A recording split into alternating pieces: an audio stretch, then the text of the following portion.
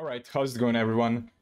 National season is upon us, and because of that, I'm going to show you how to export your Duelingbook decklist into a Konami KDE decklist. It's really simple and it looks really professional, so I think you all should do it. So you open your deck in Duelingbook, and on the left side you will see a button called Export Deck. You click on it, a pop-up opens up, and in it you select KDE decklist. You click OK, and this form opens up, which you have to fill out. So you put in your full name, your date of birth, last initial, Konami player ID, and the event you're going to be playing. Now, even though this is an exported deck list, I would highly advise that you go over it, that all of your cards are there, because I have seen it happen that some cards are missing, but it's a really, really low chance of happening.